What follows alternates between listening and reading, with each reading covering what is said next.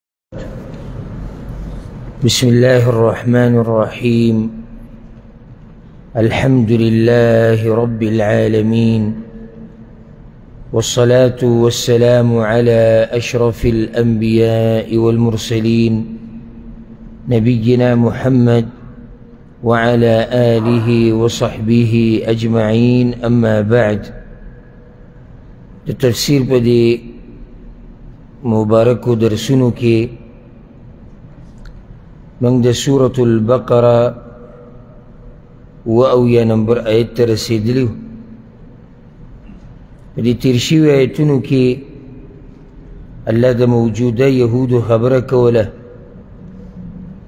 چې مسلمانان تمه ساتي چې دوی به ایمان راوړي حالانکه په هغوی کې لوی لوی بیماریان یو عیبونه دي یو دا چې د الله کلام به اورېدو او بیا به په هغې کې تحریفات کول سره د علمه دغه شان دویمه ډله پکې د منافقانو وه چې کله د مؤمنانو سره ملاوي شي وي موږ ایمان راوړی اوس درېیمه ډله ذکر کېږي په دې اته اویا نمبر آیت کې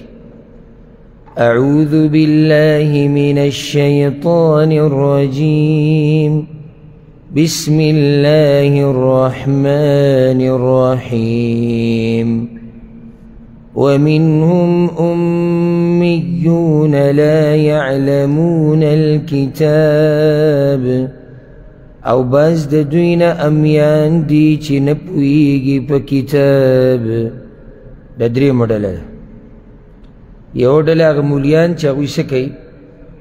تحریفات کوي دویمه ډله د منافقانو ده نو درېیمه ډله د امیانو ده د امپړو ومنهم امیون جمع د امی ده امپړ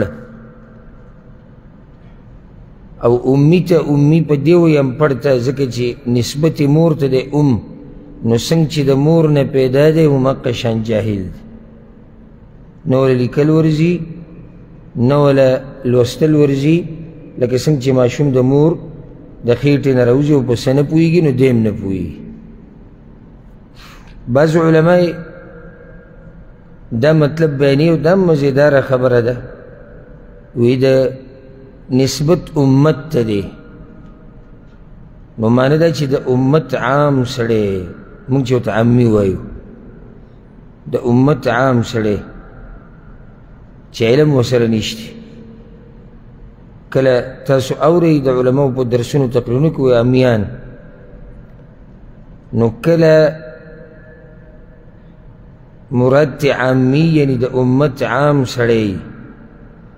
چې د هغه سره د شریعت علم ډیر نه عالم ورته نشي ویلی نو په دوانو مانو سره دا خبره ثابته ده چې دا درې مډله امیان امپړو امپړ به دیو چې کتاب باندې نه پوهېدو لا یعلمون الکتاب دلته بله فایده هغه ده هر هغه سړی چې په دین نه پوهېږي نو دا امپړ دی په دین چې نه پوهېږي دا هم پړ دی اګر که دی ډاکټري انجینیر یو که هر څه د علم خاون او قرآن او حدیث کې چې د کوم علم فضیلت راغلی دی هغه علم دی چې هغه د وحي سره تعلق ساتي نو درې مډله په دوی کې د امیانو ده چې نه پوهېږي په کتاب نو بیا په څه پسې روان دي الا امانی مگر روان دي په خواهشاتو پسې امانی جاهل دی نو خواهشاتو پسې به روان وي د امانی ټکي درې معنی دي یو امانی په مطلب یعنی ارزوګانې خواهشات ارمانونه بس د امیدونه دي په امیدونو پسې روان دي په ارمانونو پسې خواهشات او ارزوګانو پسې روان دي چې مونږ دا یو مونږ دا یو خنو دا خبرې دوی ولیکئ دا خو امیان دي نو دا په دې کوي ځکه چې مولیانو ورته دا قصې بیان کړي دي بس دوی په حقه امیدونو پسې روان دي یا امانی مطلب دی قرائت په عربۍ کې امانی په قرائت سره هم استعمالیږي یعنی بعض په دوی کې امیان دي هیڅ پته ورته نشته د تورات صرف تلاوتونه یې کوي بس نو بله فایده تلاوتونه والا هم امیان دي کدا معنی ولا وایي پوه هغه دی چې هغه د الله په کتاب باندې پوهیږي صرف تلاوتونه نه کوي نو دوی صرف تلاوتونه کوي خبر نه دي چې خبر نه دي خو بیا ګمراه دي او چې تلاوتونه کوي نو بیا دوی روان پسې پسې دي الله وی وانهم الا یظنون او نه دي دوی مګر ګمانونه کوي اوس په ګمانونو کې پراته دي موږ به دا یو موږ به دغه یو موږ دیسي یو موږ هغه یو نور خو دوی پوه نه دي په تورات باندې ځکه چې صرف قرته پورې خبره محدوده نو درېیمه معنی د اماني د الاکاذیب دروغو ته هم وایي امیان دي امپړ دي نه دي روان مګر په دروغو پسې امیان اکثر دي چې خبرې بیاني چې هغه دروغ وي به د چا نه یې اورېدلې چا وی نه دا د دوی سند دي د امیانو سند ده کوي وی چا وی یا یو کس وی یا یو ځي کې مې اورېدلې وه د قصه نه دي او به دې پسې روان او دغه دروغو پسې بیا رواني ګمانونه کوي نو ګمانونه خو په شریعت کې خو ګمانونه نه چلیږي اوس اوس به یو سړی عقیده جوړوي په ګمان باندې چې زما دا ګمان دی چې الله به دي سي یا نیک عمل کوي بندگی د الله کوي یو عبادت کوي د ګمان په بنا باندې چې کېدی شي په شریعت کې کېدی شي مېدی شي نه چلېږي ټوس خبره به یې د قرآن او حدیث په رڼا کې نو دا دوی کې درېیمه ډله ده چې دا څه دي امیان دي څه پسې روان دي خواهشاتو پسې دروغو پسې او یا صرف په تلاوت او په قرت پوهېږي نور د کتاب نه خبر نه دي او نقصان ډیر جوړي دا کس د چې صرف قراتونه کوي او نور دې خبر نه وي د ډیر نقصان جوړي ځکه چې د دنه چې کوم جاهل دی دغه پیدا ګمان دی چې دې څه دی د پوه دی او ځکه زمونږ د پښتانه علم صرف قرآن یادولو ته وایي نو باز راشي بس بچی هم داخل کړی دی علم کوي او دعا ورته کوه بس څه علم کوي قاري صاحب سره قرآن یادوي بس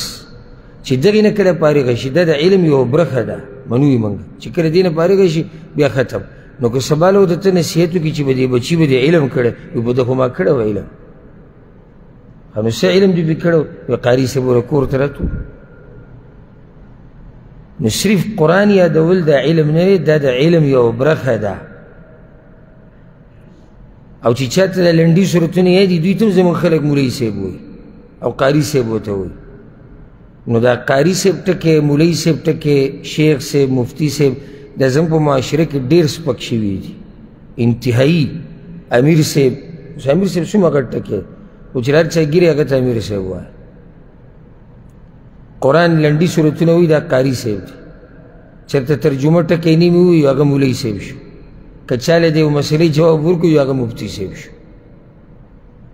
نو څومره ډېر شوي دي نن سبا څومره ډېر شوي دي خو علما کم شوي دي په صحیح معنو سره علما هغه کم دي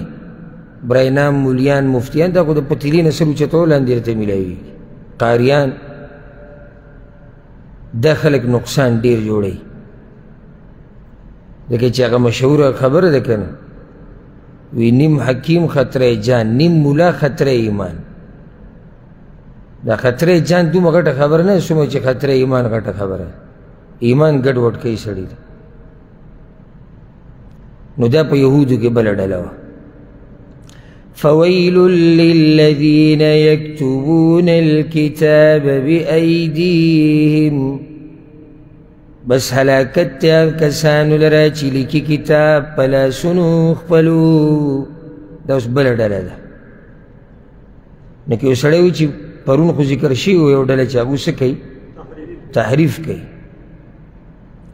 نو دلته به د بل ډله څنګه شو دلته معنی دا ده چې دوی د سره نه خبره په خپل لاس لیکي هغوی څه کوي هغه خو کتاب کې معنی بدلوي ټکی نیم بدلوي دوی خو خبره د خپل طرف نه لیکي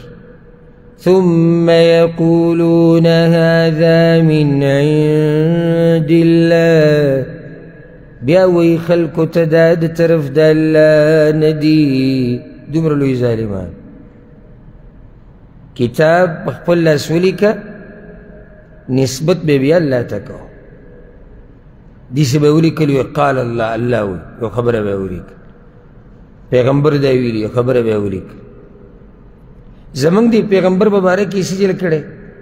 کم اصل صفات چې د هغه راغلي دي په تورات کې د هغې په ځای نور لیکلي دي چې د هغه ویښته به نرمي او سترګې به شني او داسې بیا به خلکو ته وګوره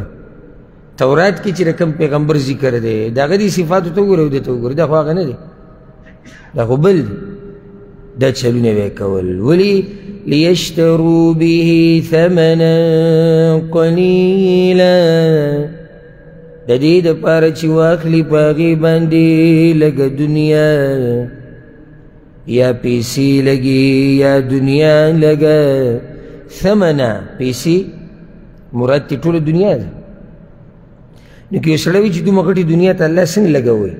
نو دا دي سي چې دنیا فاني کېدونکې ده او هر شی چې فاني کېږي دا لږ دی یا دا چې حرام که ډېر هم زیات شي خو برکت پکې نه نو دا لګي ځکه ورته الله لګوي او دا مرض زمونږ په دې امت کې هم شته ډیر پکې داسې دي مسله به وګورو خو دومره پې راځي نو چې کله دی چا له مسله ګوري او پیسې وله ورکړي نو دا مسله به هم بلکل د هغه د خواهشاتو مطابق دی راوباسي نو څه چل به ورسره کوي خو څه قصه به جوړوي را جوړوي که فويل لهم مما كتبت أيديهم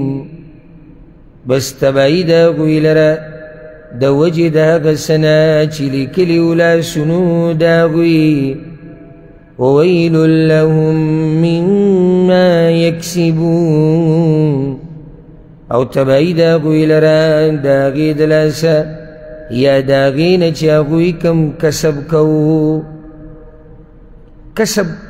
دو معنی کې دی شي یعنی هلاکت ته هغوی لره ولي ولي هغوی تباه دي کومې پیسې چې ګټلې کسب مطلب پیسې چې به دې کار ګټلې او دغه شان کسب هر هغه شي ته وایي چې انسان کړی دی یعنی دا ګناهونو د لاسه هغوی تباه دي څومره ګناهونه یې چې هم کړي دي بیا دا فایده چې دې آیت کې ویل درې پیرې راغی دا ویل څه ته وایي دي کې علماء ډېری خبرې کړې دي مفسرین خو دوه پکې مشهورې دي یو دا چې ویل په جهنم کې یو کند ده او دویمه دا چې دا ویل کلمه د وعید د الله پې یره ورکوي تبایی هلاکت دې ته پکې اشاره او معروف هم دقیق استعمالیږي نو دلته دا ویلې ولې درې پیرې وویل ځکه چې کارونه درې شوي دي اول وګوره یکتبون الکتاب بیا دی په خپل لاس لیکل کوي بیا وی هذا من عند الله دریم کار لیشترو به هذا من عند الله د الله طرف نه دي لیشترو به ثمنا قلیلا دې دپاره چې والي په دنیا نو چې کارونه یې درې دي نو ویل هلاکت د هغوی ته درې پیرې ذکر شو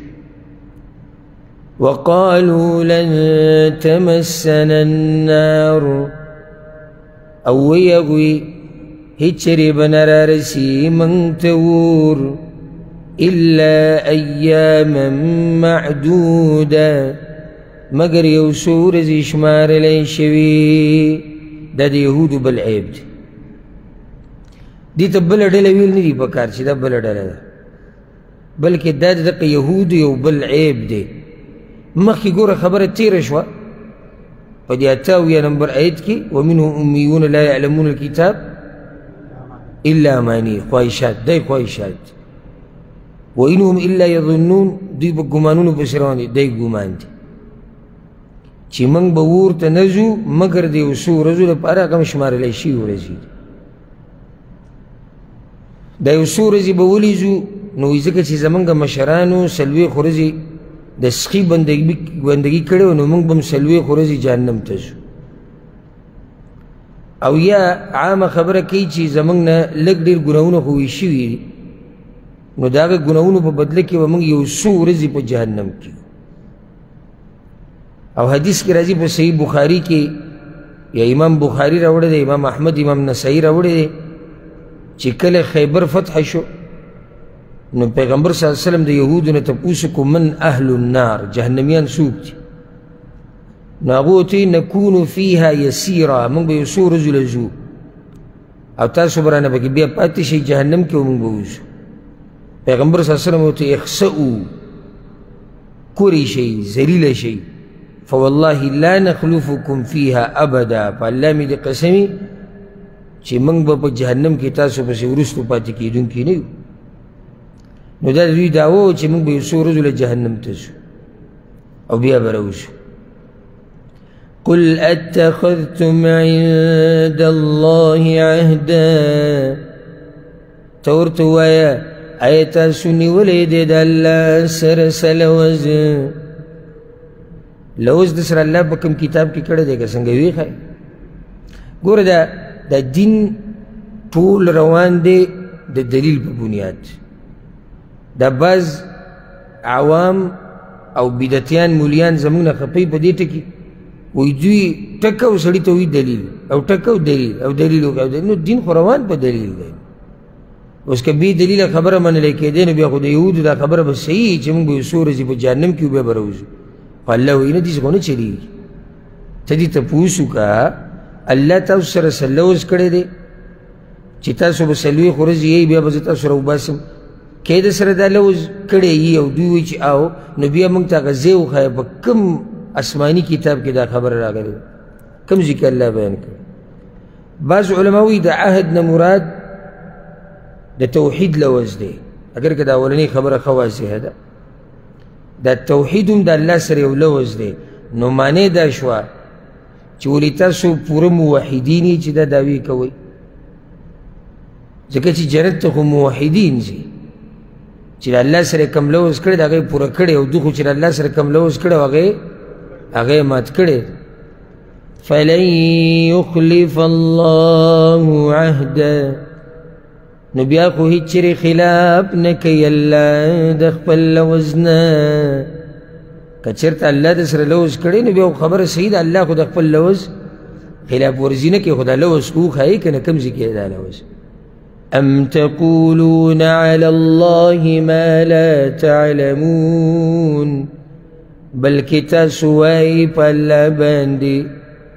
هغه څه چې تاسو پې نه پوهېږئ ام په عربۍ کې کله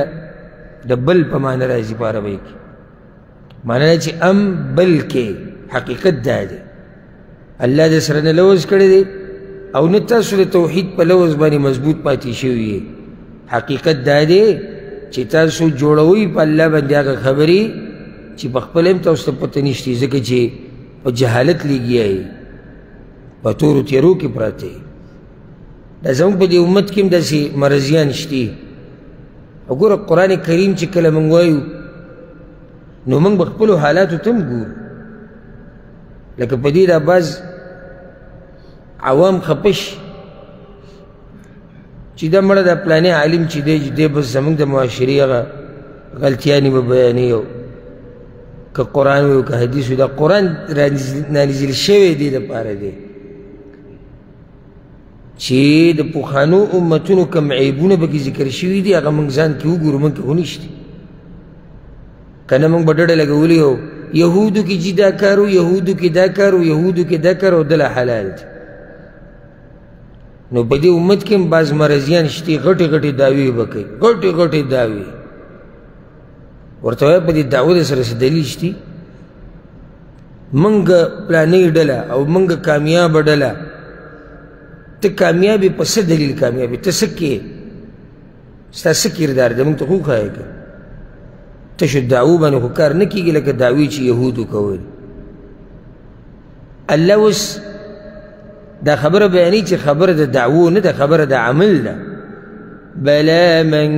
کسب سیئه داسې نه ده بلا مطلب داسې نه ده داسې نه ده څه مطلب داسې نه ده څنګه چې تاسو وایئ چې څو ورځې به جهنم کې او بیا به ځي جنت ته نه نه نو خبره څه ده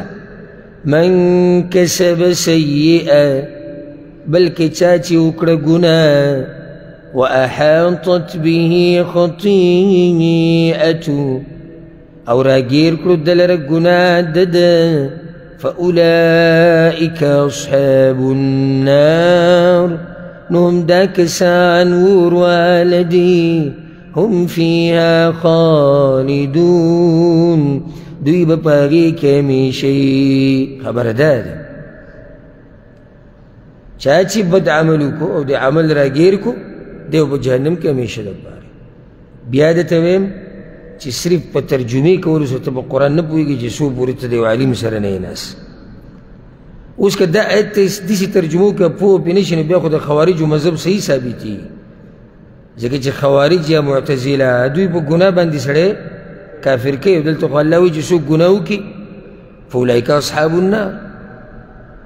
نو د دې تفسیر عبدالله ابن عباس رضی الله عنهما کړی هغه وایي د سیئې نه مراد شرک دی چا چې وکړو شرک و احاطت به خطیئته او دې شرک دومره راګیر کو چې دې په دغه شرک باندې مړ شو نو دی د همیشه دپاره جهنمي دی نه به راوځي د جهنم بعض علما وایي دلته سیئه او خطیئه راغی حالانکه دواړه نافرماني ته وایي نو یې ولې الله یو ځای کې سیئه بل ځای کې خطیئه عام جواب یې دا دی چې دواړه نافرماني ده که تفصیل پکې کوي نو بعضې داسې کوي وی معنی دا چې بلکې چا چې وکړه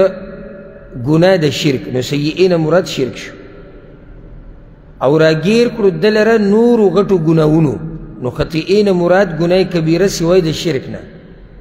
او د مرګ پورې دی په دغه ګناهونو کې مخته دی سره د شرکه په دغه کې چې مړ شو دی جهنمي چې نو هر یو خبره چې کوي هغه صحیح ده نو دلته مراد د سیئه نه څه شی دی شرک دی په بنا د تفسیر د عبدالله ابن عباس رضی الله عنه ګوره قرآن چې کله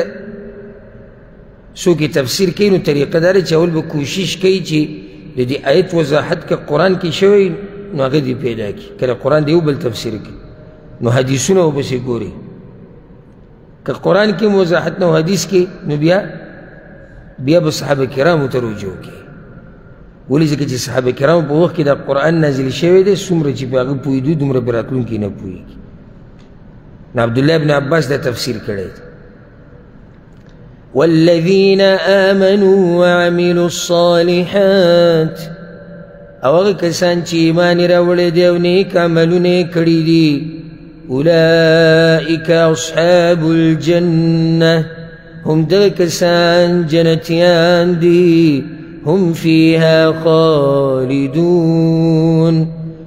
دوی به په دغه جنت کې همیشه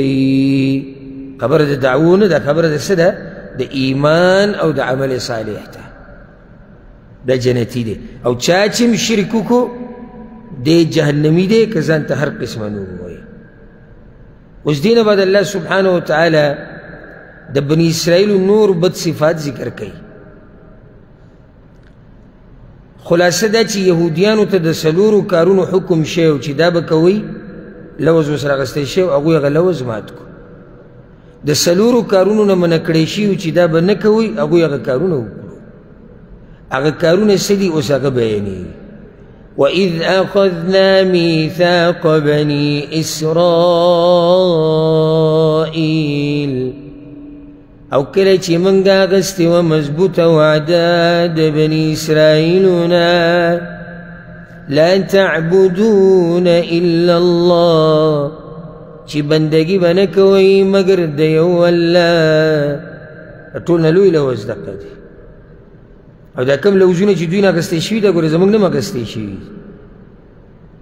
بعینه دقه لوزونه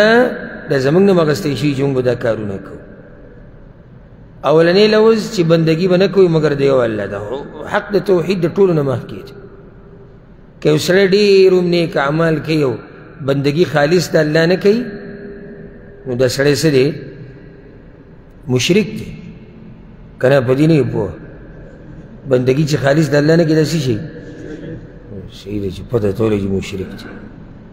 نو دا مشرک دی د دې یو عمل هم الله نه قبل نو ځکه د خبرې په سر کې به خبره د توحید راځي دلته لا تعبدون الا الله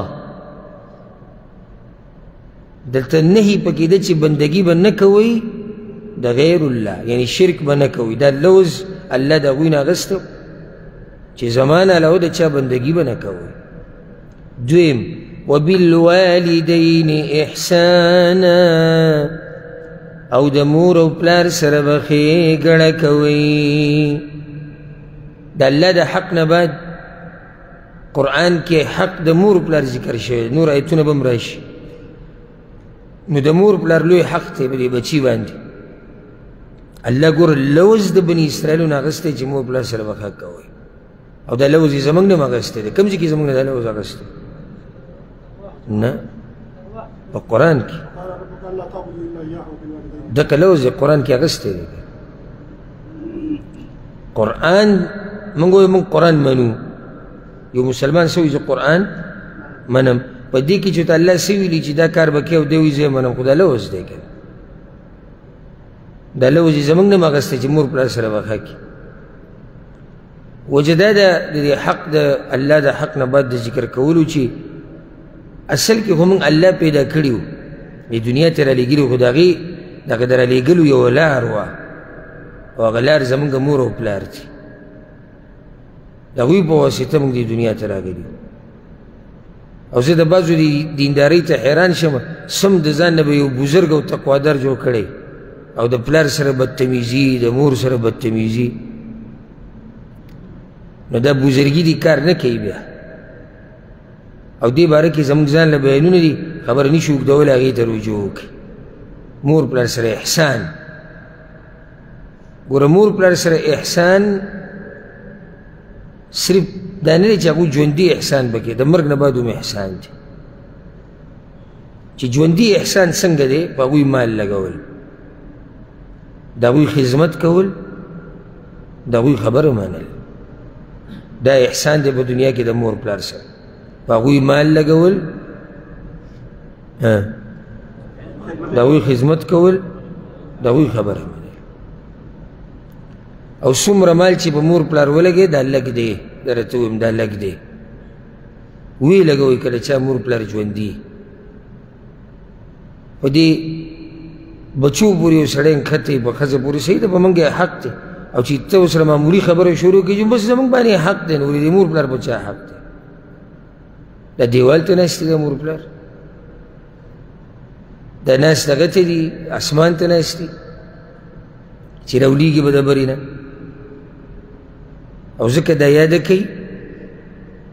چې د بچي حقیقت هله راښکاره کېږي او د ده سړیتوب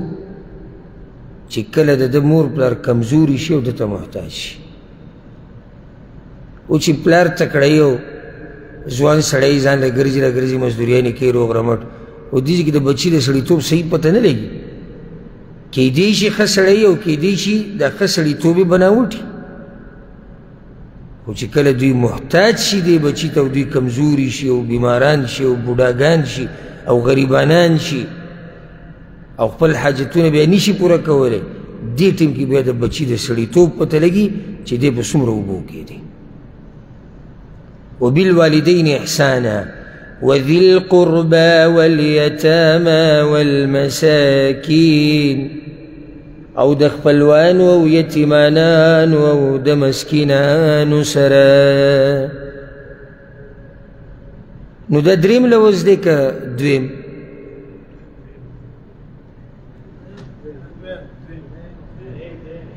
ولې دریم دی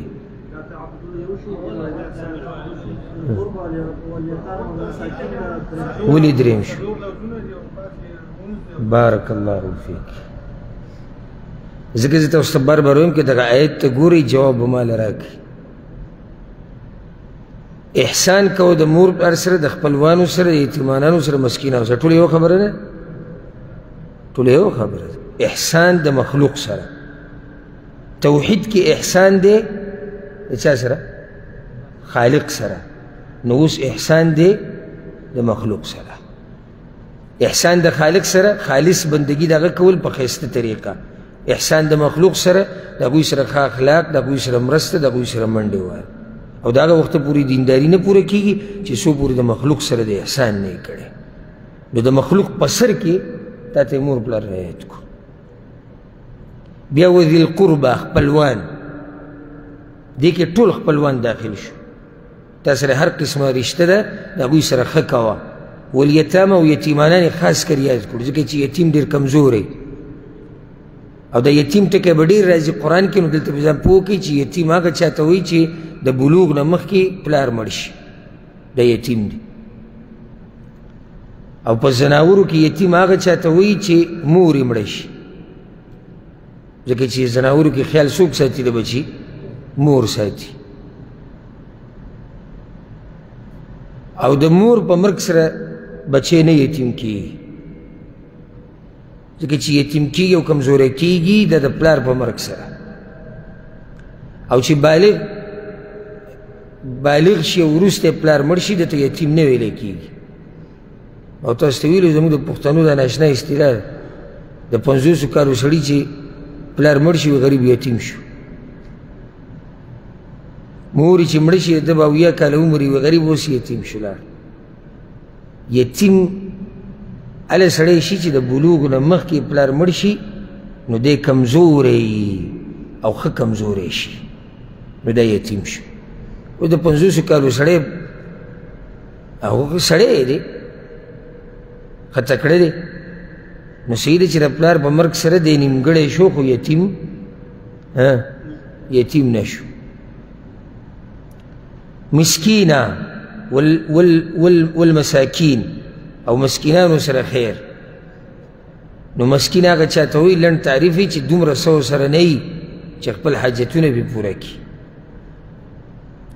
مسکین ګوره هغه چاته نه وایي چې د لاس نیولو سوال به کوي کیدی شي چې سوال وکړي او کیدی شي نه یې کوي د پښتنو دا مطلب دی چې غریب چاته وایي چې سوال کوي نو دی به بهر به غریبانو پسې ګرځي او ګاونډي څه دی هغه غریب دی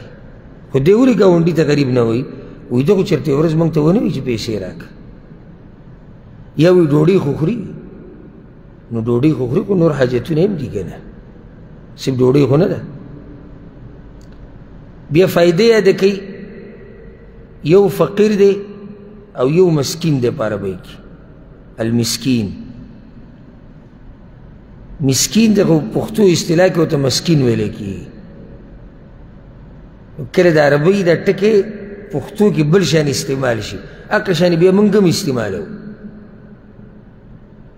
یو ورځ یو مولوي صاحب په ما باندې رد کو او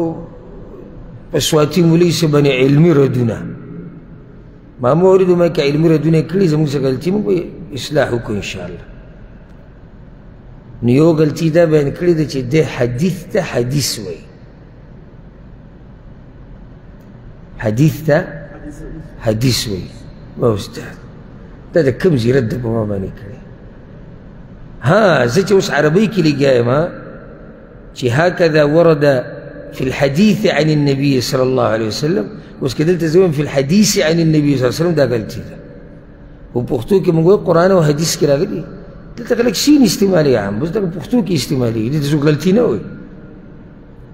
یا لکه مثال مونږ وایو زه د پلاني مجلس ته ورغلم او مجلس دا په اصل کې مجلس دی مجلس نه دی او پښتو کې د څه استعمالېږي مجلس نو دا به مولوي صاحب راولي ته عالم یې مسکین ته دې مسکین وي نو پښتو کې ورته څه ویلی کېږي مسکین که مسکین مسکین که نه نو دا د دې بعضو دې د بعضو دې ردونو ته چې ګورې سړی حیران شي یو څو ورځې مخکې یو کس راته یو ویډیو راولېږله وایي دې باره کې ته څه وایي نو هغه د یو مولوي صاحب نه زما د بیانونو باره کې تپوس شوی نو هغه وایي چې د ده دا بیانونه او زمونږ بیانونه د دې مثال به ته بیان کوم خبره به واضح شي زمونږ د بیانونو مثال داسې دی لکه من نو سلوه د ده د بیانونو مثال داسې دی لکه دال بادرنګ سبزي داسې نو اوس وي هغه سړی به څومره کمه کړي چې من او سلوا پرېږدي او په سبزیانو پورې کښته اکثمات دې باره کې سیر به دې باره کې به زه څه وم زه اوس دې څه جواب وکړم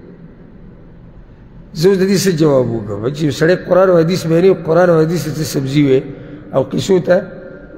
قصو ته من و سلوا وي نو د بعضو خلکو دې خبرو ته به حیران شي نو دا فایده یې ده کوي چې کلم یو عالم یو مقرر لیږي که هغه پښتني که پنجابی او که هرې ژبې والی نو دې بعض الفاظ د عربۍ هغه داسې استعمالوي څنګه چې هغه قوم استعمالوي نو دلته پته نیوکه کولی شي نشي کولی الا چې کله دی عربي وي قرآن آیت وي یا حدیث وي یا په عربي کې بیان کې دا ټکي غلط وي بیا پې نیوکه وکړه ها نو یو دی فقیر او بل دی مسکین په دې دواړو کې فرق څه دی چا دا ویلي دي چې دا فقیر ډیر محتاج د مسکین نه بعض علما دا او څوک وایي چې نه دا مسکین چې دی دی ډیر محتاج د فقیر نه زما خپل ځاني زړه په دې مطمئن دی چې دا مساکین او مسکین چې دی دی ډیر زیات محتاج دی ښي د فقیر نه فقیر ډیر محتاج دلیل پې دا دی چې کله موسی او خضر علیهم السلام هغه کشتۍ ته وکتو خضر علیه السلام د هغې نه هغه لرګی وویستو دا بل مثال مخې له راغی دا په اصل کې دی خضر علیه السلام پښتانه ورته څه وایي خضر علیه السلام نو که چېرته یو مولا بیان کې خضر ووایي نو د هغه ژبه هم دغه باندې عادت شوې د پښتانه چې ورته څه نور دا په اصل کې دی خضر علیه السلام نو چې کله هغه لرګی د کشتۍ نه وویستو نو موسی علیه السلام پرې خفه شو نو الله بیا هغه قصه ذکر کړې دی چې د هغې وجه هغه ورته ذکر کړ نو هغوی هر چې کښتۍ وه فکانت لمساکین یعملون فی البحر دا د مساکینو مسکینانو خلکو وه چې هغوی به په دریاب کې مزدوري کوله نو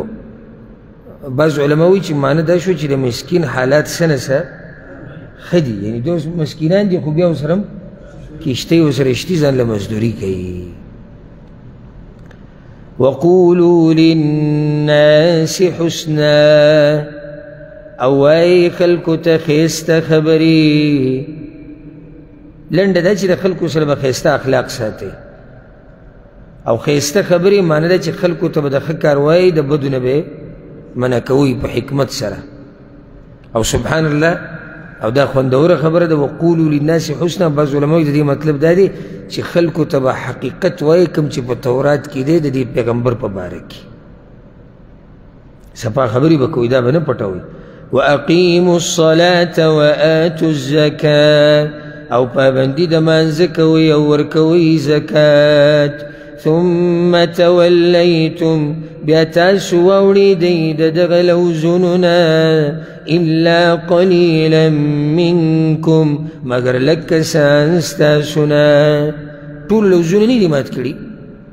ښه خلک پکې وو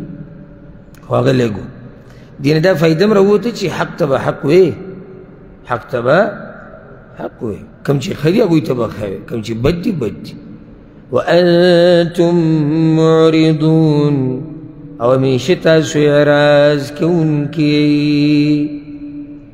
معنی دا دی چې صرف تاسو دې ځکه د لوزونو نه اوړېدلي بلکې د دې لوزونو نه اوړېده د ستاسو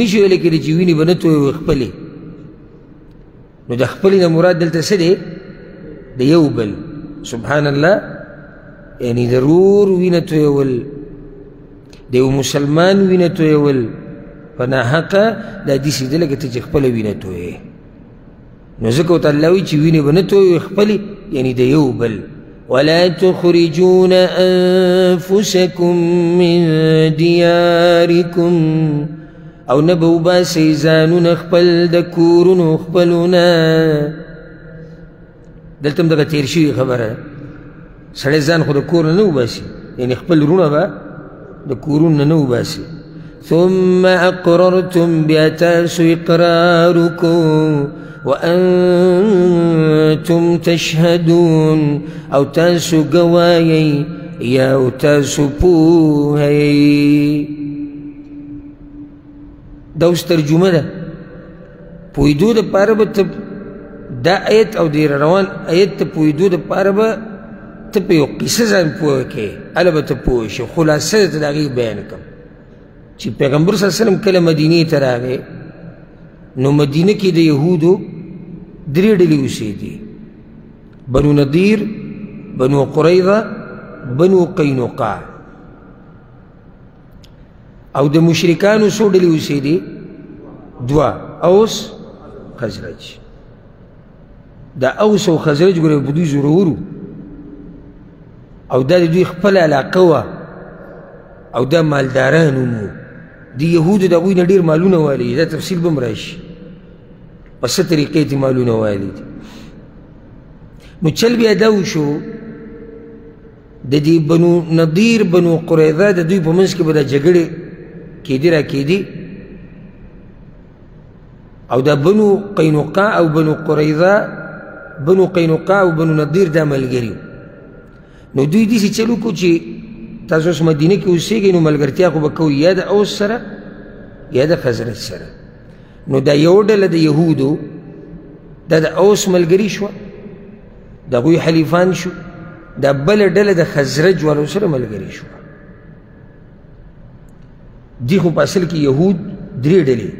خو په دې خپلو کې هم دوی وران دي نو دا دوه ملګري دی او یوه جدا ده نو دا یوه ډله د اوس سره شوه دا بله چې دوه دي دوی د خزرج سره شو د اوس او د خزرج د دشمنی قصې دا خو مشهورې دي دوی به سره به جګړې راتلې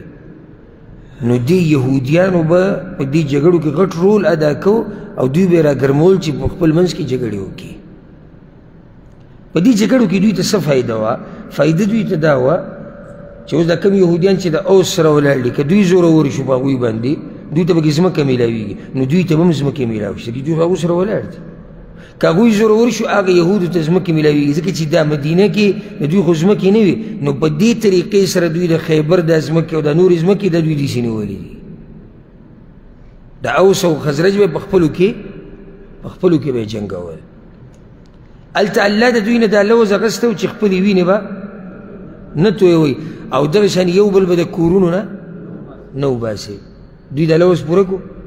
څنګه پوره نه کو خپل يهوديان به پکې وچل ځکه جګړه چې کې تر اوس سره ولاړې خزرج په مقابله کې يهودي به پکې مرزي د خزرج سره ولاړې د اوس په مقابله کې يهودي به مرزي ناګه به پکې مړکاو کله به یو ډله زورور شو په بل باندې هغه به د کورونو نه او د ځمکو نه وشړل دوی به پکې يهودو مو وشړل او ورانه به دا کوو چې کله به د دوی دا ملګري یهودیان چې کم مد مقابل دي دا به د دوی د حلیفانو اوس یا خزرج به قیدیان کړو را به یې وستو جګړه کې قیدیان راوستل کېږي نو دوی به بیا د خپلو ملګرو له کوم چې عرب دي مشرکان دوی له به بیا پیسې راجمع کړي ور به یې کړي وي زموږ دا یهودي پرېږدئ نو هغوی به مې تعجب وکړو چې زمونږ سره یو ځای وژني زمونږ سره یو ځای د کورونو او ځمکو نه شړي دا پکې څه قیصه ده نو هغه وایي چې په دې موږ خفه کېږو چې یو یهودی دې قیدي او دا موږ ته په تورات کې حکم شوی دی چې تاسو به خپل قیدیان ازادوئ نو دوی ونه منلې یوې ومنلې قتلی یې شړي خو د قید نه را خلاصوي ولې راته بیانوم بیا ثم اقررتم یعنی تاسو ښه اقرار کړی د دې خبرو اقرار یې داسې کړی دی چې دوی خو وایي چې موږ تورات منو دا اقرار دی اوس که تا ته څوک دا وایي چې الله تا سره لوز کړی ته اقرار کړی ته به څه وایي چې الله ما سره کله لوز کړی الله ما سره کله خبرې کړي ته چې دا قرآن مني دا اقرار دی که وانتم تشهدون تاسو ګواهي په دې یا تاسو پوه یې په دې چې دا خبره په تورات کې دقه شان ده دوی سی چلو کو ثم انتم هؤلاء بیا تاسو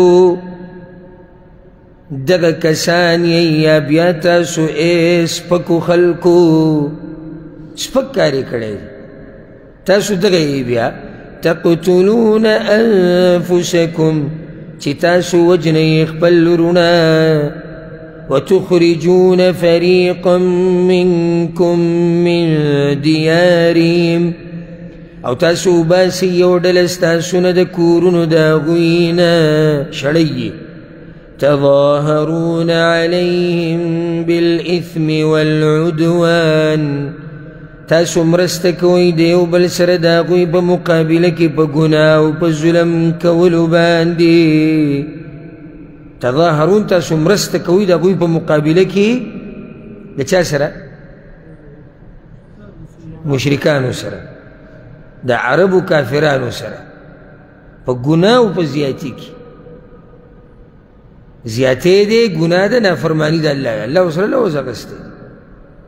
یو خو دوی دا زیاتې کوي لوز ماتې نو بل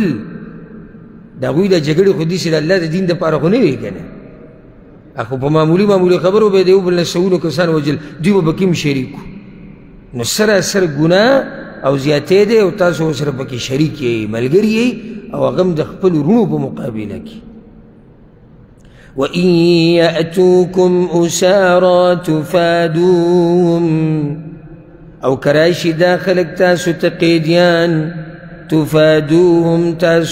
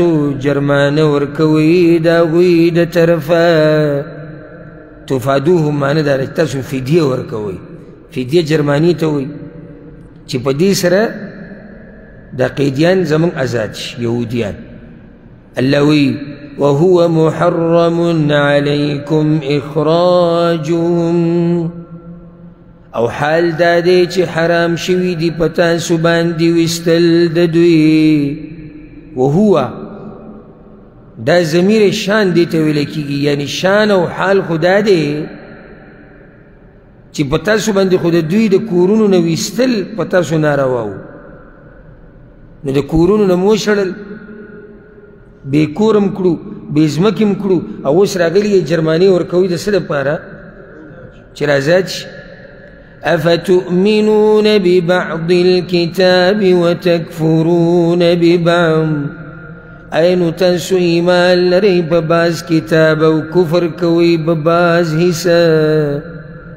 دا د یهودو عیب دی ښه بعض خبرې منو بعض نه هغه منو چې فایده ده پکې او دا مرض ګورې د دې امت په بعضو خلکو کې هم دی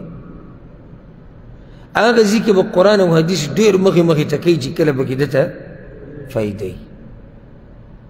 او چې کله ځکه قرآن او حدیث د ده د معاشرې خلاف شي د ده د غم ښادۍ خلاف شي د ده د پښتو خلاف شي بیا هغه قرآن او حدیث وروالي هغه به پرېږدي او خپلې معاشرې له پښتو له به ترجیح ورکړي بعض منو او بعض نه منو دا د کوم ځای ایمان دی نو دلته یو څو خبرې یوه ده چې دوی ولې د د قیدي رازادو د نور حکمونه یې نه منل نو په هغې کې دوی ته مالي فایده وه او هغه په دې طریقې سره چې یو سړی به یې رازادو خپلو ملګرو سره به یې خبرې وکړه کوم چې عرب مشرکان دي نو مثال کې هغوی رازادوي لکه په زر روپۍ باندې نو دوی به راجمع کړي د یهودو نه شل زره نو زر هلته ولګېدي نولس زره د دوی جیب ته لاړې نو دا حکم هم دې لپاره نه دی منلی چې یعنې دی دینداري کوله دا هم صرف د څه لپاره منلی دی دا هم د خپلې فایدې لپاره منلی دی لکه دا بعض چې وینې که نه یو حدیث به یاد کړی په ټولو حدیثونو کې چې ته کینې دغه یو حدیث به ورته بیانې چې کینې دغه یو حدیث به ورته بیانې نو دې حدیث کې د ده فایدې دغه حدیث هم دې لپاره نه مني چې دا یو دینداري ده خو ده ته پکې یو دنیوي فایدې به ټکه چې ته کښېنې دغه یو حدیث به راته وایي یا د قرآن یو آیت به راته وایي نو قرآن خو نور هم شته حدیثونه خو نور هم شته بله فایده الله ورته ایا تاسو ایمان لرئ په بعض او نه لرئ په بعض نو دوی خو تورات باندې ټولو باندې ایمان که په تورات ایمان نه ایمان په دې سم مطلب شو چې بس باندې ایمان نو سم مطلب شو جواب دی نږدې دی هو کو وضاحت دی چې کمی به نه منلې هغه ښه صفا به مونږ نه منو ها جملتن ټول تورات منو کنه منو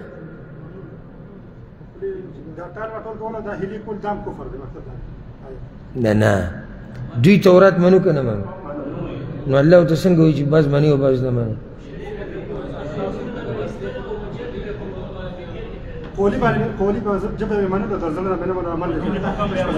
دغه ستا دا جواب دا جواب تاسو وضاحت صحیح ونه کو تعبیر دا دی چې دلته د ایمان نه مطلب عمل دی چې په بعض حصه عمل کوي په بعض نه کوي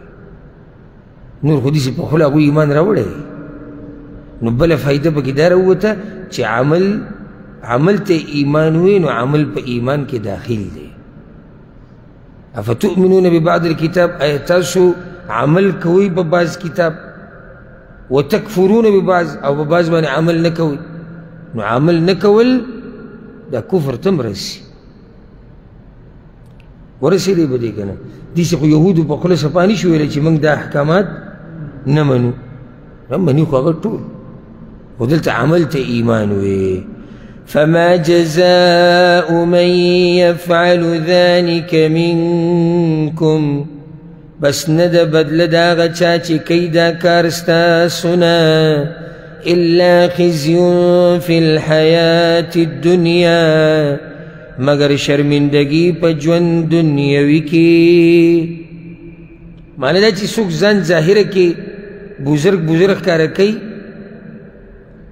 او د الله په کتاب عمل نه کوي نو الله به په دنیا کې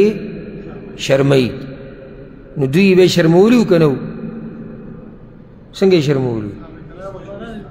وی شړل د مدینې نه وشړل خیبر ته لاړو د خیبر نه وشړل شام ته لاړو ذلت دنیا کې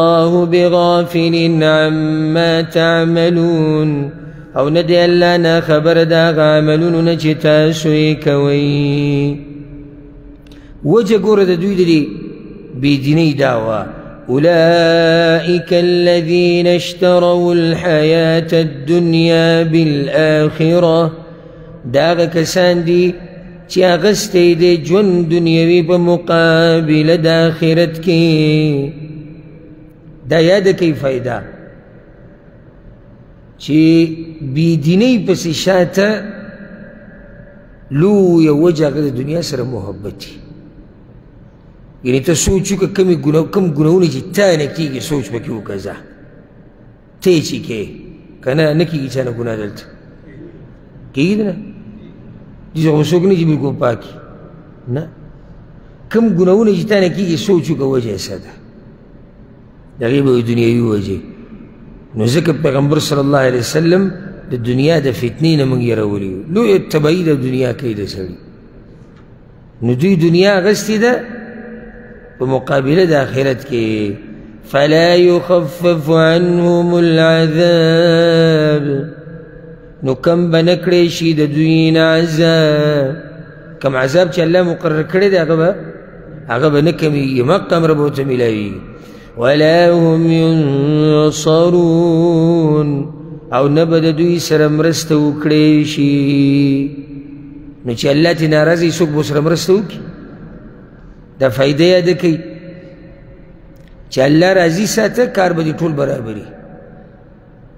اگر که مخلوق د نه ټول ناراضي او چې مخلوق د نه ټول راضي او خالق ناراضي نو ته هیڅ هم نه او هیڅ کار دې هم نه کېږي ځکه چې خبره ټوله د خالق په لاس کې ده هغه راضي ساته هر څه به دله برابر کړي اوس بله خبره د بني اسرائیل مبارکي او مقصد پکې څه دی د هغوی عیب بیانول او پیغمبر ته تسلی چې ای پیغمبر ته مخه پکېږي چې دا یهود تا ته دروغجن وي او تا تنګي را تنګي دوی نور پیغمبران هم نه دي معاف کړي ته څه اولنې نه چې دوی تا سره دا کار کوي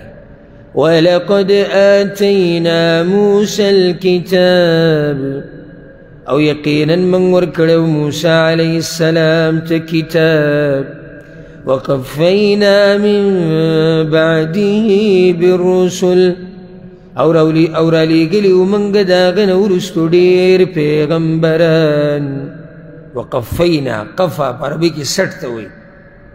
چې تا پسې څوک شاته نږدې را روان دي په دې سټ پسې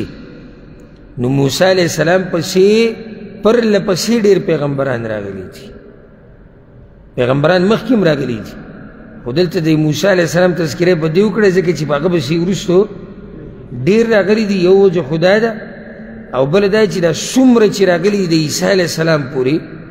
د ټولو تورات بیان کړی دی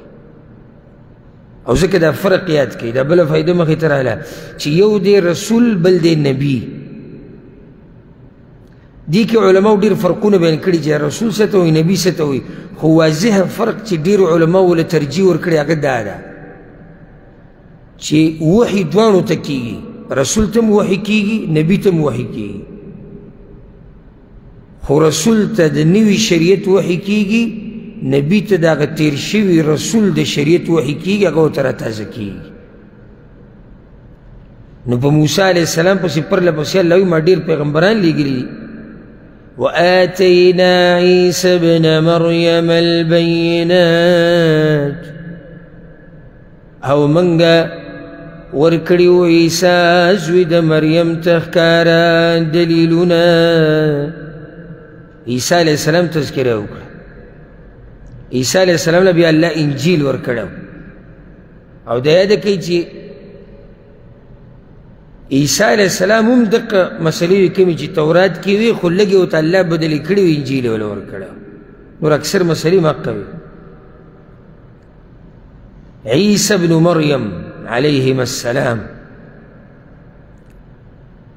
دا هغه پیغمبر دی چې بغیر پلار نه پیدا دی نو ځکه نسبت مور ته کیږي نور طریقه دا ده چې نسبت به پلار ته کیږي او دا د انګریزانو طریقه ده نن سبا چې په بعضو ملکونو کې هغوی نسبت د بچي مور ته کوي والته زناګانې او فحاشي دومره عامه ده نو هغوی د پلار یې څه پته لګي خو طریقه دا ده د شریعت اصول دا دي او دا د سړیتوب خبره هم ده چې نسبت په پلار ته کیږي په دنیا کې هم او په آخرت کې هم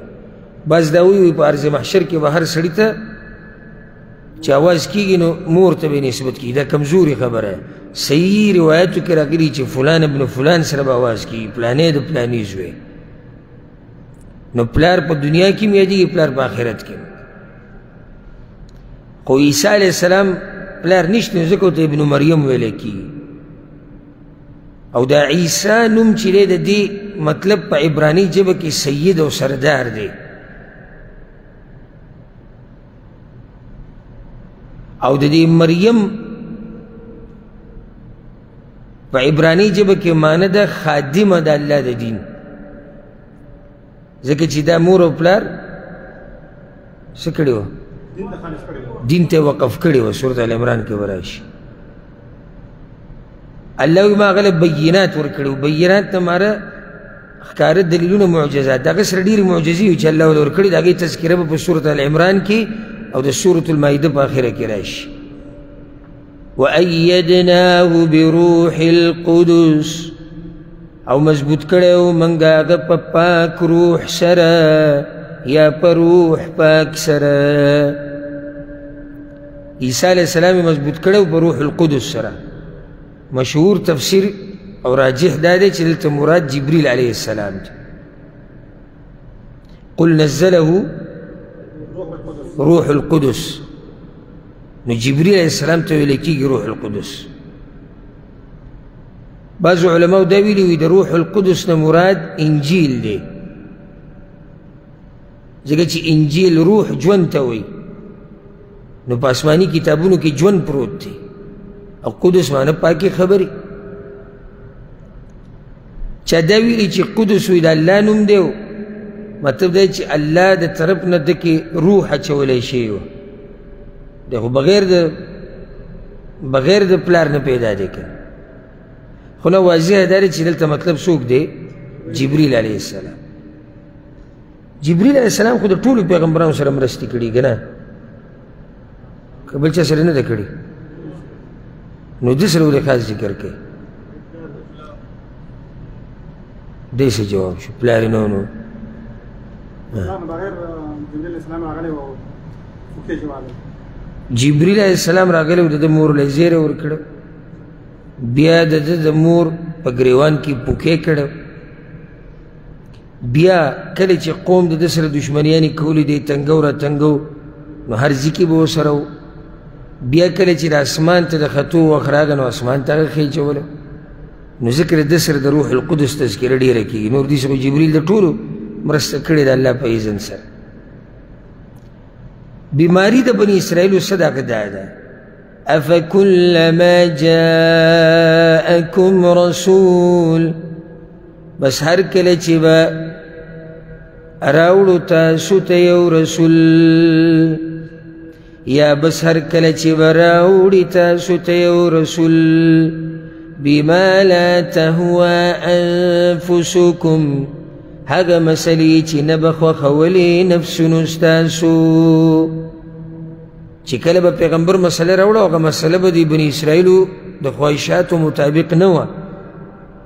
استکبرتم تاسو به لوی وکړه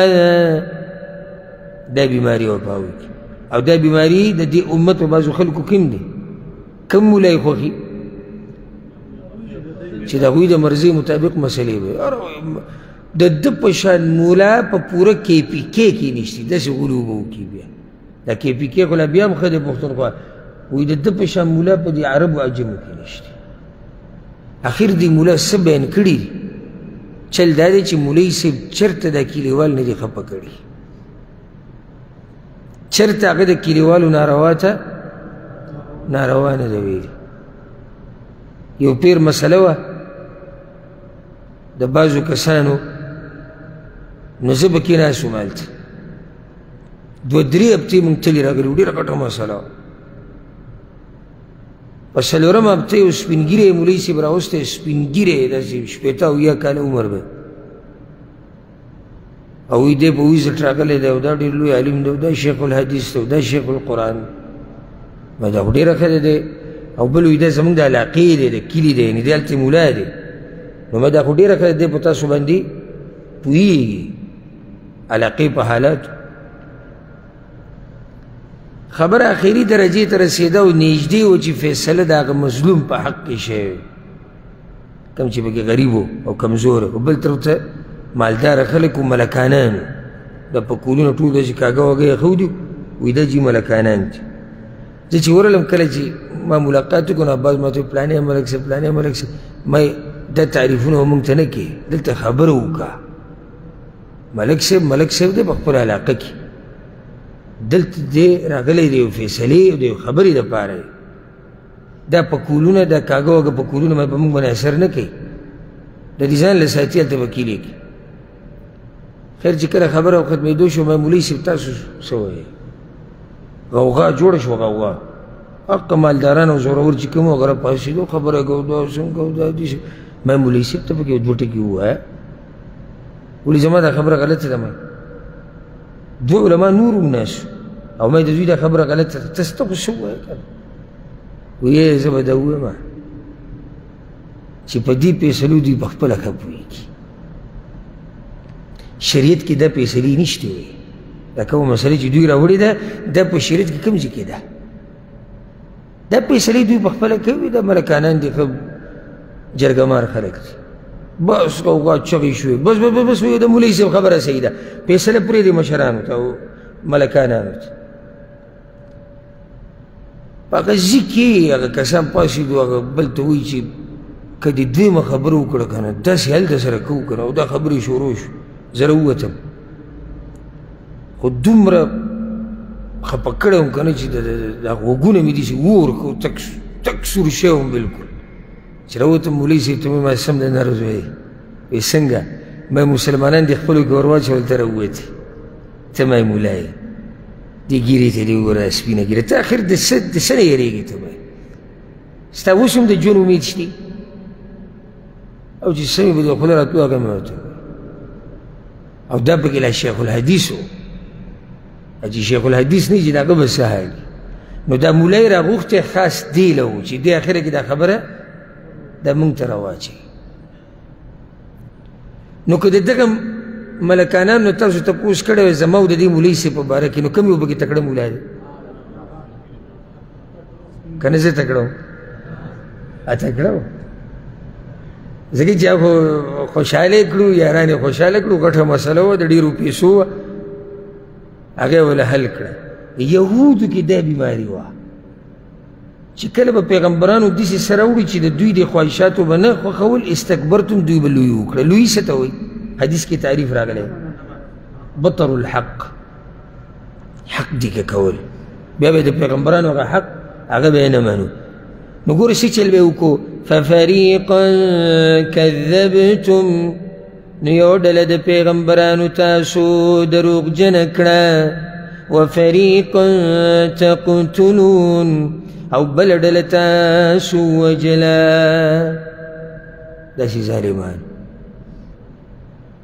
چا ته به یې دروغجن وي او څوک به یې مړ کړو تقتلوني مضارع راوړی دی ماضي نه دی راوړی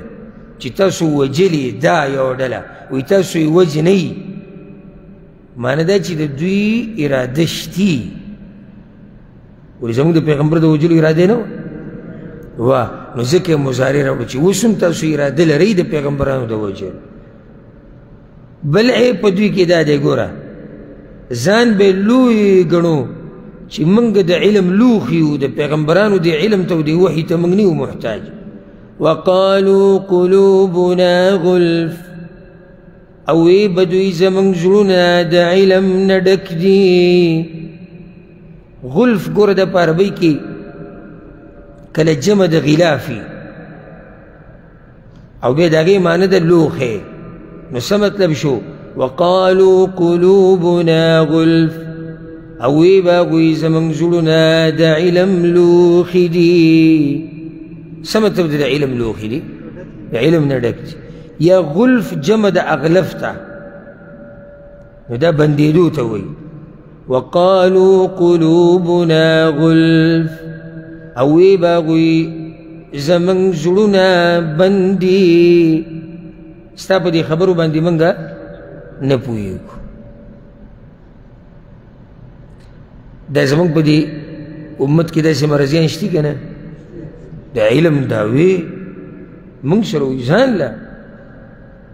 او موږ سره پلانې علم دی او موږ سره پلانې علم دی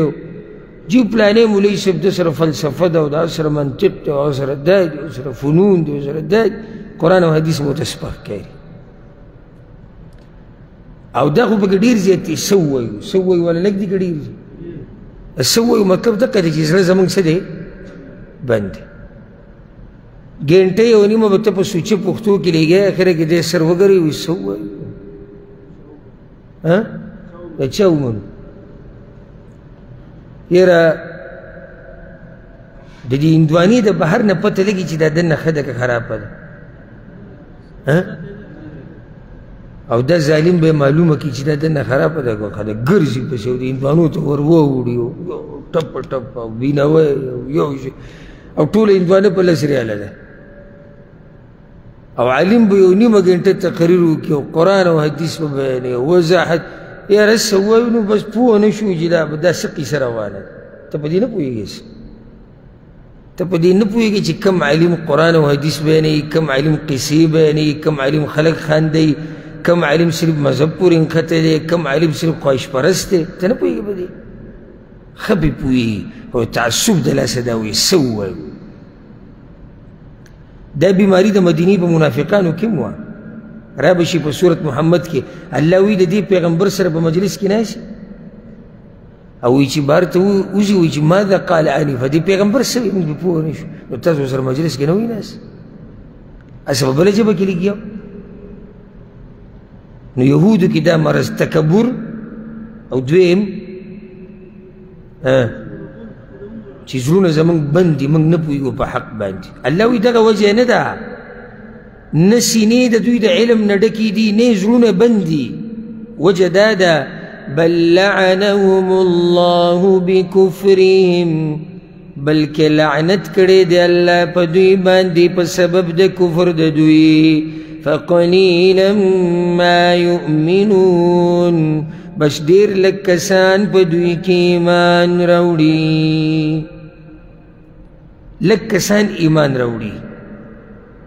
یو مطلب دا دی فقلیلا ما یؤمنون یو مطلب دا دی چې لږ خلک په دوی کې ایمان راوړي ډیر ایمان نه راوړي او صح متعصب دي ګوره یهود ښه پیغمبر صلی الله علیه وسلم په مدینه کې لس کاله تیر کړي دي په مکه کې د نبوت نه بعد دیارلس په دې دېرش کاله کې د شمار یو څو یهودیان مسلمانان شوي دي د شمار دا سخت متعصب ځکه الله فقلیلا ما یؤمنون یو معنی دا ده چا دا معنی ذکر کړی دا هم صحیح دی فقلیلا ما یؤمنون دوی لږې خبرې مني هغه خبرې لږې دي چې دوی یې تصدیق کوي د ډېرو نه انکار کوي او ولې ته انکار کوي نه خواهشاتو خلاف جواب وشو دغې کې بما لا تهوه انفسکم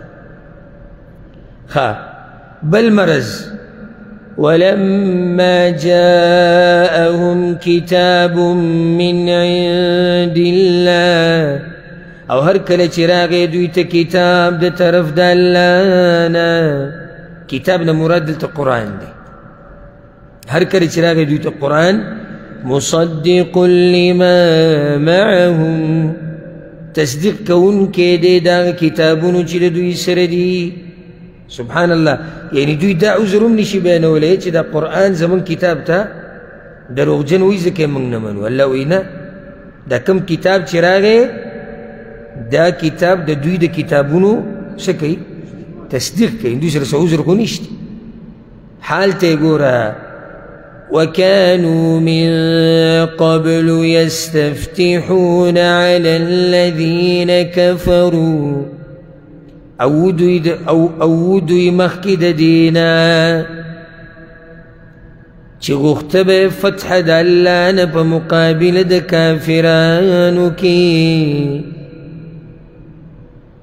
وو دوی مخکې د دې نه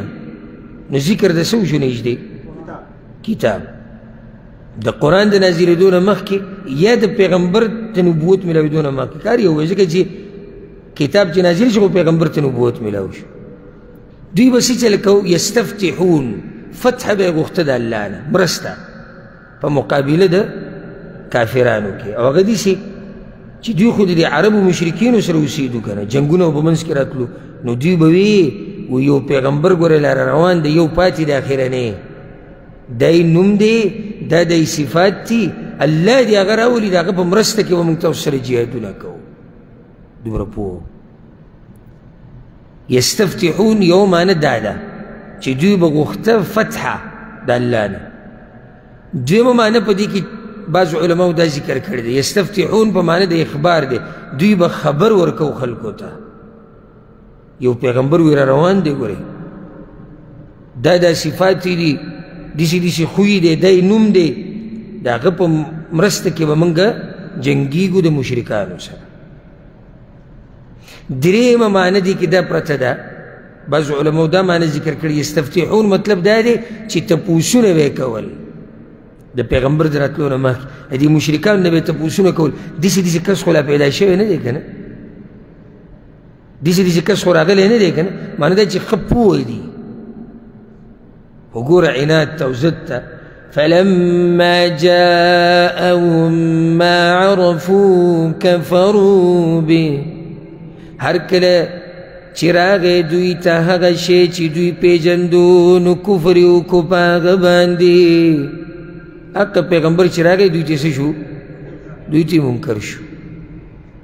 حویی ابن اختب یهودی به وي وی خره ته پته ده چې دا پیغمبر په حق دی هم دا دی د الله پیغمبر خو قسم مې دی په الله چې مرګ پورې دله نه منم خو ته پته وره به شي په روان ایتونو کې الله وی دوی د پیغمبر دومره ښه پېژني چې دومره دوی د خپل زامن هم نه پېژني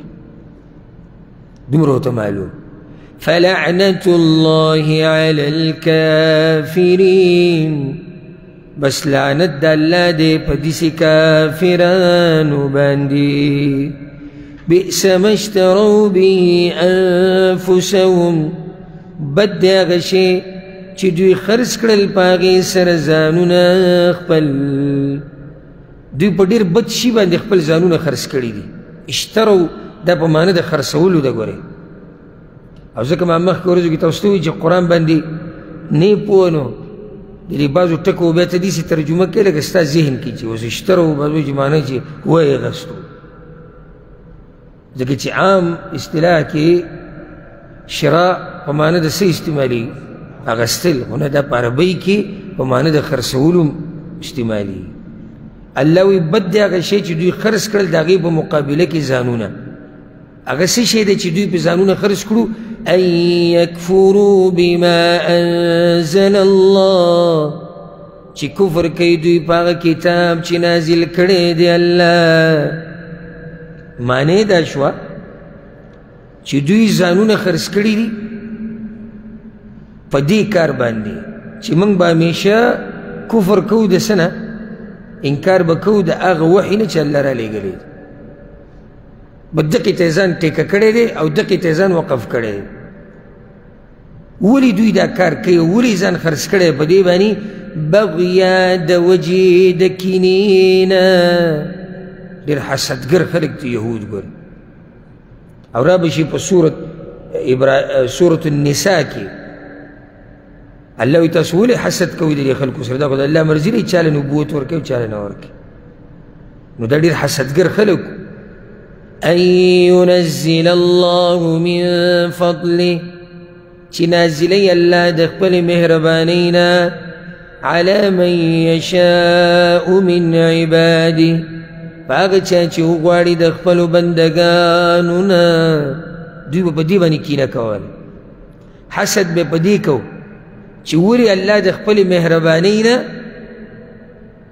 په بعضو بندګانو باندې را خپل مهرباني را نازلوي یعنې ولې دې پیغمبر له پیغمبري ورکړ دا خو د الله کار دی علا من یشاء من عبادي دا خو د الله خوښه ده چې په خپلو بندګانو کې په چا فضل کوي خو دوی به کینه او حسد کوي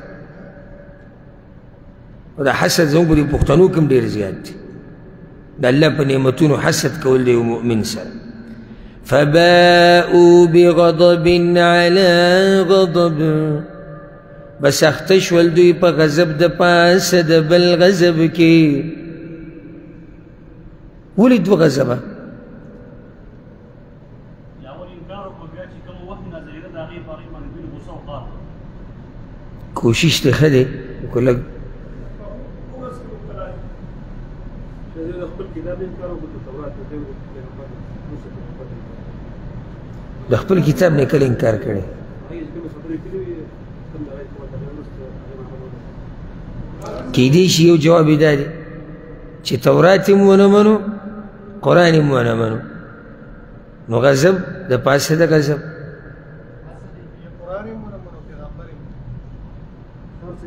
نه دغه یو راځي تاسو جواب دی خدای لیک تعبیر دی ولا بدل کړی وی چی ها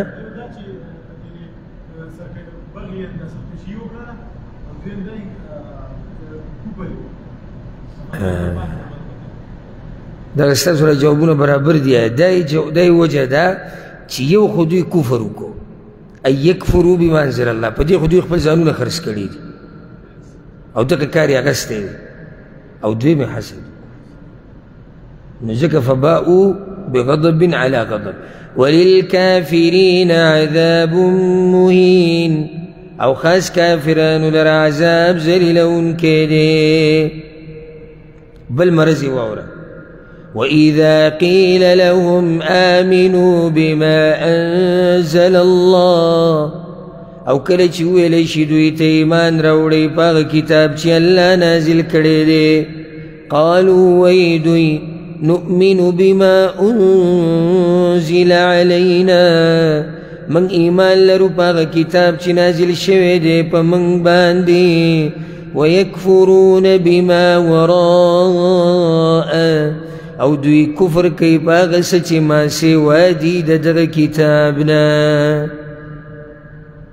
دا بل مرض دی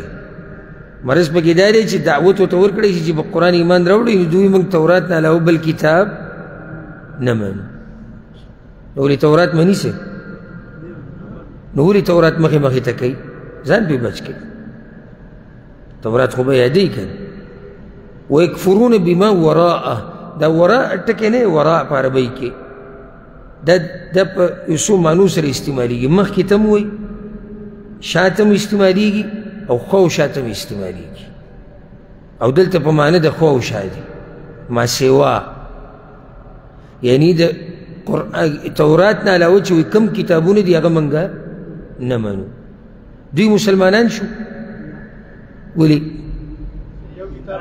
د یو نه انکار د ټولو نه انکار دی او دوی خو د ټولو نه انکار کوي صرف یو مني هغه یو هم نه مني ځکه که دا یو یې منلی دی نورو نه انکار نه کوي وهو الحق مصدقا لما معهم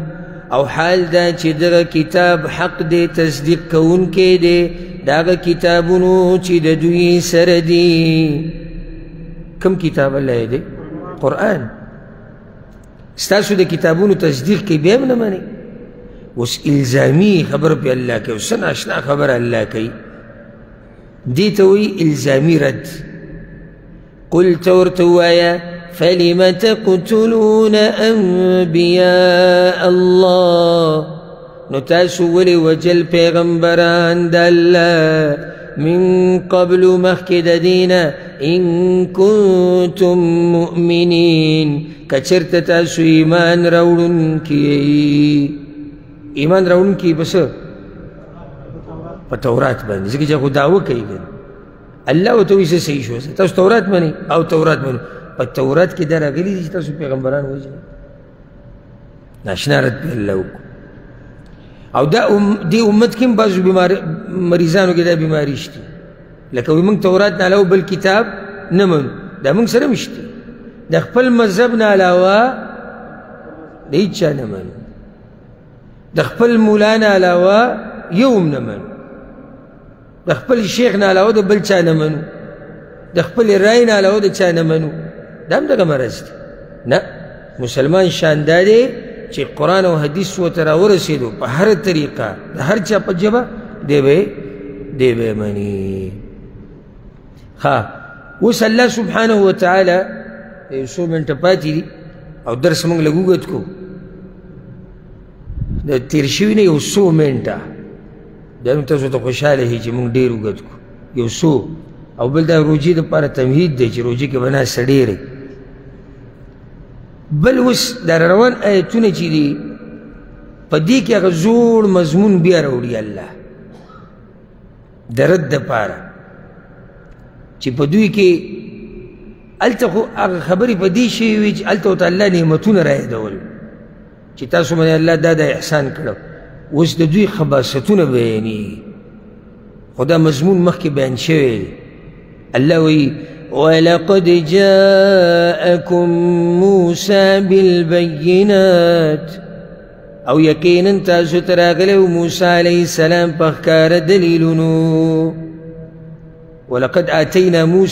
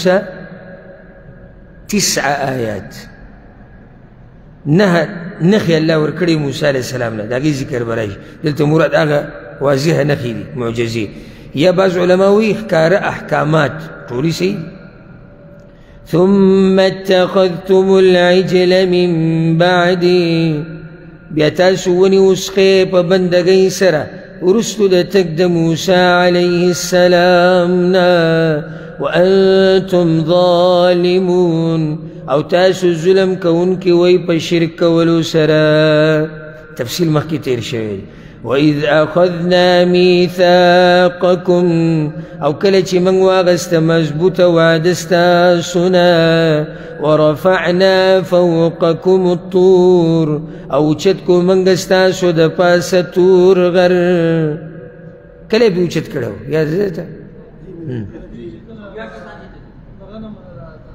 اسلام تورات هغه دغه وغه نه منه چې موږ تورات کله چې موسی علی السلام تورات نه تاسو ګډه وډه خبره ده صحیح ده کله چې موسی علی السلام الله له موسی علی السلام له الله تورات ورکو هغه دا کتاب دی دوی مونږ نه وایي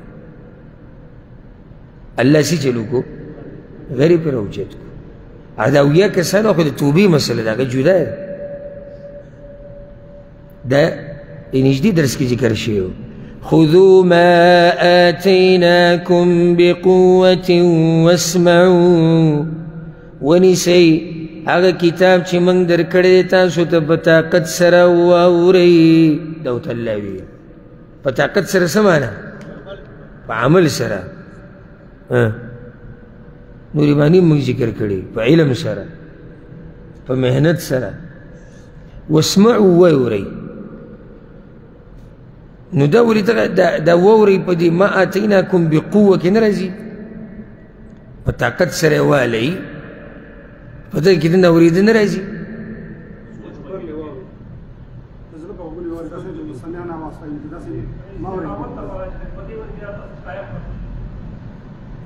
کې دي چې دا ښه کوششونه دي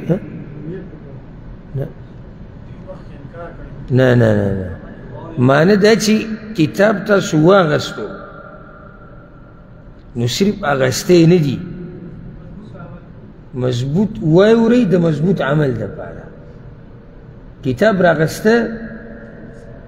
احکامات منل ابتداء د اسان کار دی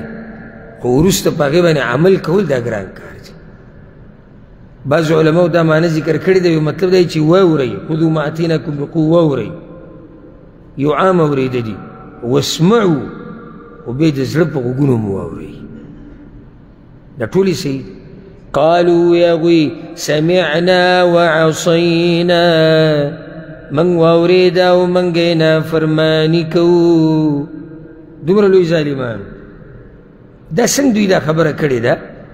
نو دې کې مفسرینو یو څو خبرې ذکر کړې دي یو دا وی دا په هغه ټیم کې دوه ډلې وي دوه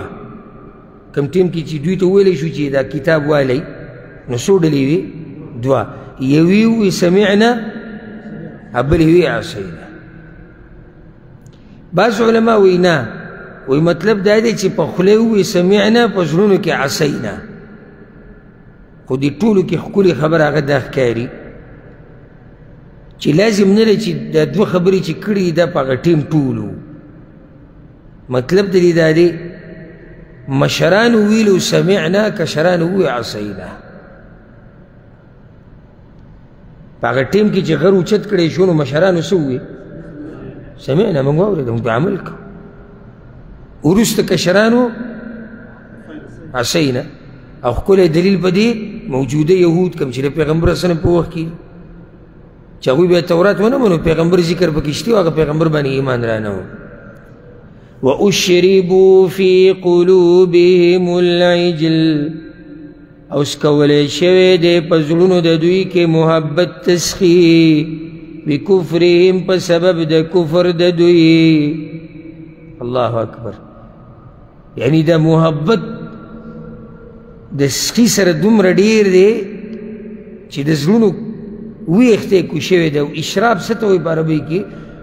چې یو شی د بل شي سره داسې ګډ وډ شي او داسې ګډون پکې راشي چې بیا جدا کېږي نه نو د سخي دا محبت دومره ورننوتې دی چې ورسره وځي نه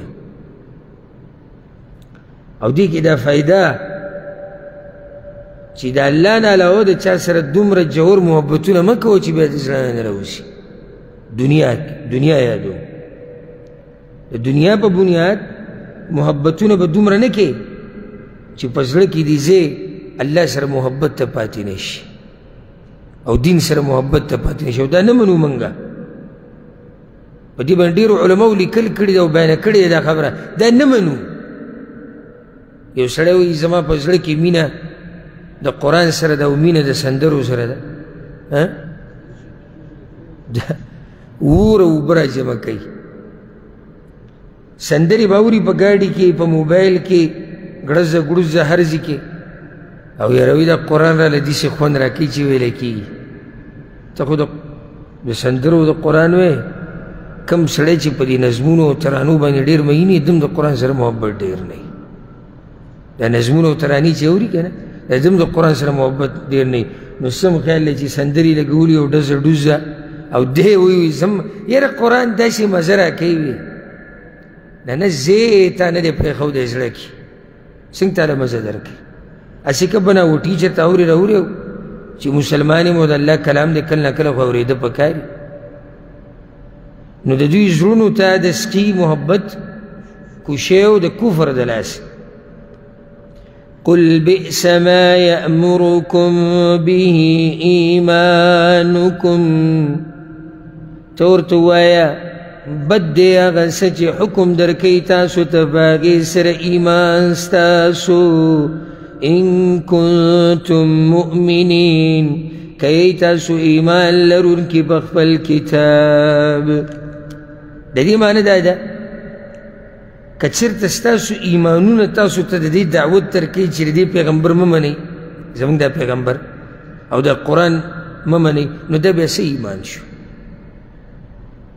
دا خو ایمان ایمان نه دی دا سی ایمان شو چې تاسو ته د غلط کار امر کوي آیا ایمان چاته غلط کار کوي خو نتیجه دا ده او حقیقت دا دی چې ایمان هم ایمان نه دی ان کنتم مؤمنین که یی تاسو ایمان لرونکي په خپل کتاب ځکه که تاسو هلته په صحیح معنو سره ایمان راوړی وی نو تاسو به د الله د نافرمانیانو نه ځان ساتلی وی خو چې هلته مې ایمان صحیح رانه وړو په خپل کتاب نو دلته هم ستاسو په ایمان کې څه راغی کمی پکې راغی یا ایمان هم ګډوډ شو په دې باندې به اکتفا وکړو سبا به انشاءالله د څلور نوي چورانوي نمبر آیت نه شروع کوو بل یو عیب به الله د دوی بیانوي چې دوی دعوی غټی کوي